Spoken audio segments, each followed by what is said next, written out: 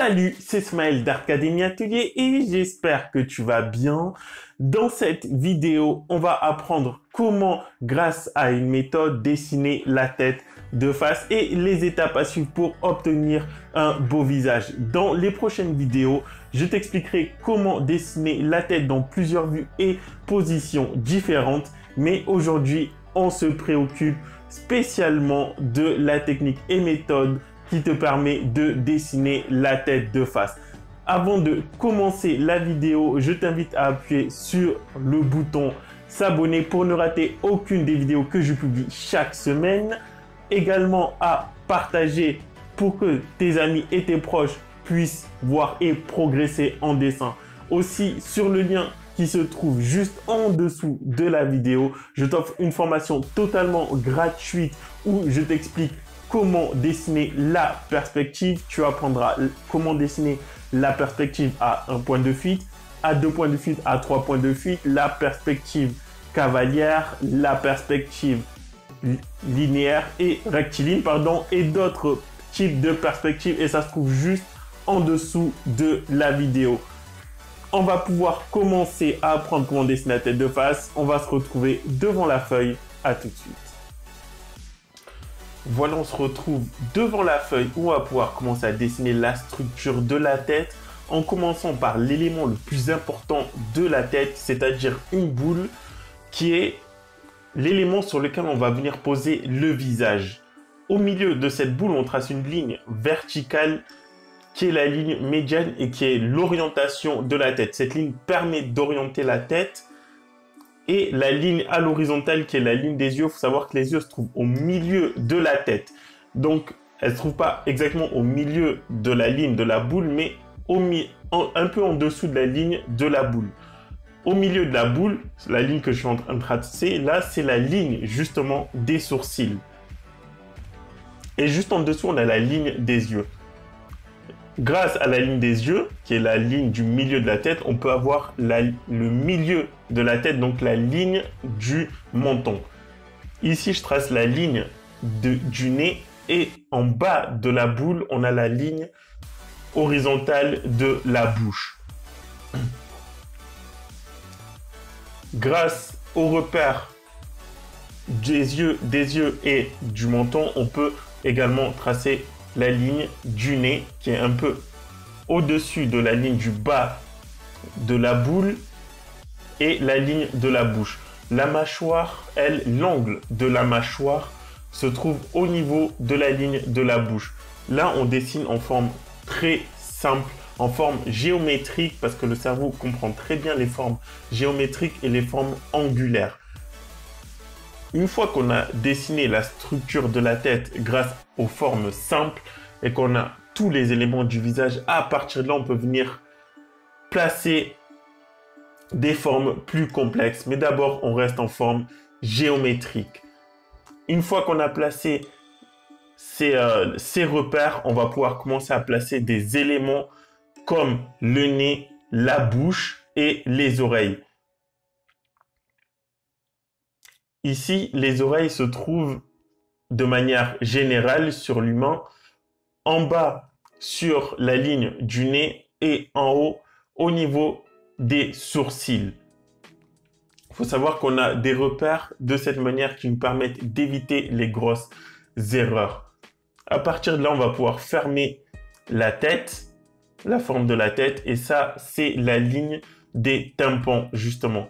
La ligne des cheveux se trouvent au tiers de la tête. C'est-à-dire que on va avoir la hauteur des cheveux au sourcil qui est l'équivalent des sourcils au bas du nez et du bas du nez au menton. De là, je ferme la tête tout en respectant la structure. Je ne me préoccupe pas de toutes les variations. Je reste en forme simple et en ligne droite. Et petit à petit, je vais pouvoir amener quelques petites variations, mais bien plus tard. Pour l'instant, je reste en forme simplifiée. Je ramène quelques erreurs que j'ai faites, je corrige quelques erreurs. Mais dans l'ensemble, quand je respecte la structure de la tête, j'évite grandement les grandes erreurs. Justement. À partir de là, je vais pouvoir commencer à placer des éléments. Donc là, je commence par le nez avec, on voit sur le nez qu'il y a trois faces. Donc la face de droite, la face de gauche et la vue de face. Je commence par la vue de face avec un triangle, un long triangle qui correspond à la longueur du nez. Et je viens refermer ce triangle-là en reliant euh, le point du bas du nez des narines au haut du, au haut du nez. Ensuite, je viens poser la bouche. Je reste en forme, en forme très géométrique, très simple, d'accord Et dans les prochaines vidéos, justement, je te montrerai plus en détail comment dessiner la bouche, comment dessiner le nez, comment dessiner les yeux. Mais pour l'instant, on reste en forme géométrique tant qu'on est sur la structure de la tête. Pour les yeux, les yeux, pour la bouche, pardon, excuse-moi, je termine avec la bouche. Je suis sur sa longueur environ au milieu de chaque œil. Un peu moins du milieu de chaque œil.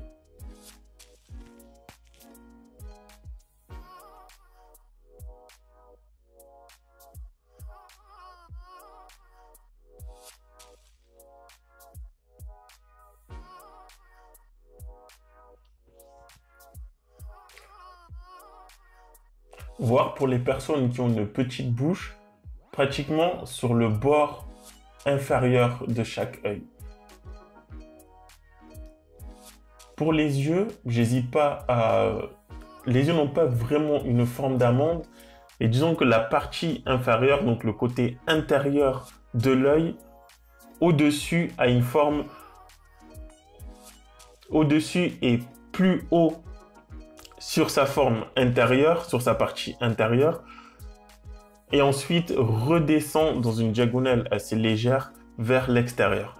Et inversement sur la vue du, sur la partie inférieure de l'œil, comme tu peux le voir sur l'exemple que je te montre juste maintenant. Là, à ce niveau-là, j'ai la structure de ma tête. J'ai mes éléments du visage, donc les yeux, les éléments c'est les yeux que je suis en train de refaire puisqu'ils sont, ils paraissent un peu trop grands. Les éléments du visage, donc les yeux, le nez et la bouche. J'ai également les repères des sourcils. Très important.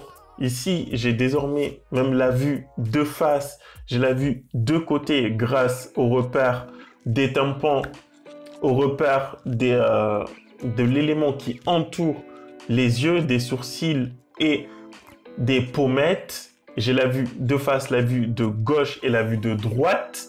Je te mets toujours des exemples pour que ce soit bien plus clair. Et à partir de ce moment-là, là, j'efface un peu le dessin pour pouvoir y ajouter les variations et entrer un peu plus dans les détails de mon dessin. À partir de ce moment-là, je vais pouvoir ajouter quelques éléments et détailler un peu notre, euh, le dessin.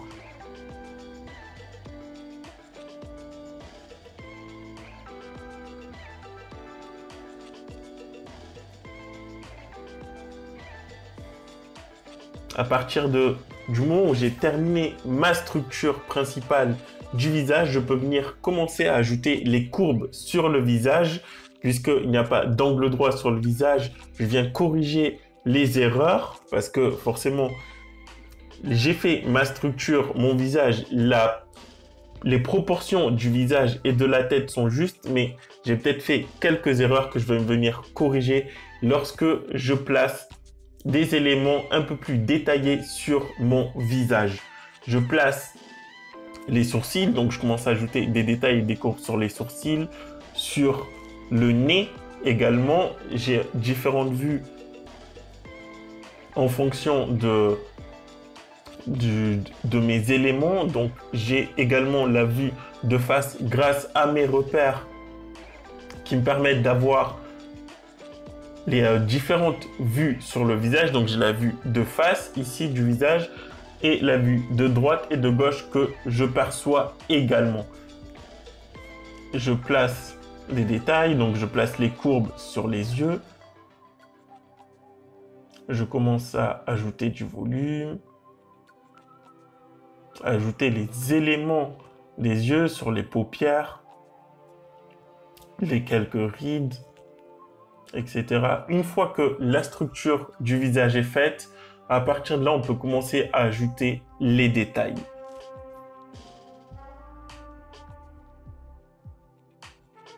Donc je place également les narines.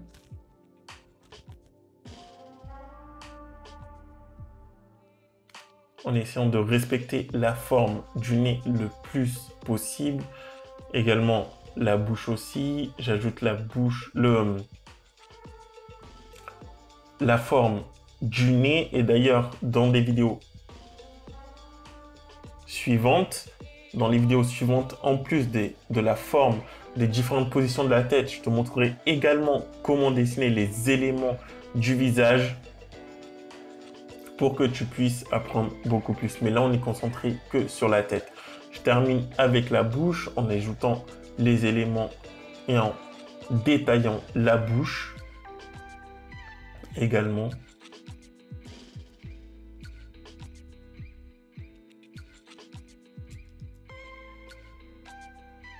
J'y ajoute quelques rides. Voilà, une fois que la structure de la tête est faite, à partir de là, on peut ajouter et commencer à placer les détails corriger quelques erreurs s'il y a besoin, comme là sur les oreilles. Venir y ajouter toutes les courbes, les détails.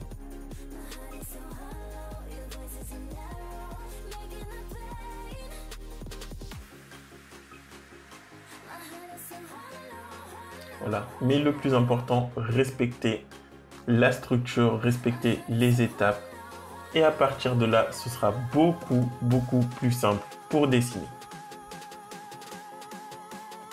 Si tu as une quelconque question ou commentaire, dis-moi dans les commentaires pour qu'on puisse en parler et avancer ensemble.